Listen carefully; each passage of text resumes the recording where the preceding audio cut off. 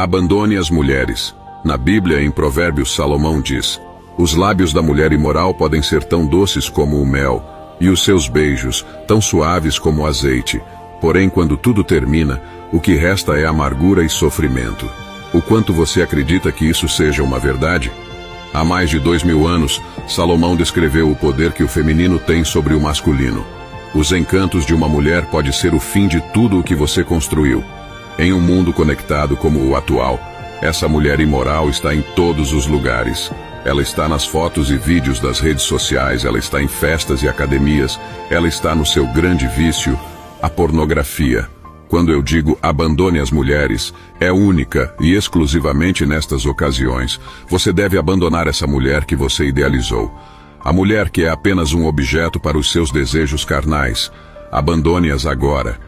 Busque a virtude feminina além da sua beleza. Em outro versículo, o mesmo Salomão diz: Como é difícil encontrar uma boa esposa. Ela vale mais do que pedras preciosas. O seu marido confia nela e nunca ficará pobre. Em todos os dias da sua vida, ela só lhe faz o bem e nunca o mal. Esse é o poder de uma mulher de virtude. Esse é o poder que só os miseráveis não são capazes de reconhecer, sejam eles homens ou mulheres. O poder de tornar um homem um rei verdadeiro vive unicamente no coração de uma mulher virtuosa. Portanto, se você não busca essas virtudes em uma mulher, mas se deleita com a sua luxúria, você está condenado. Afinal, a imoralidade já derrubou reinados, quem dera o que ela seria capaz de fazer com a sua humilde história.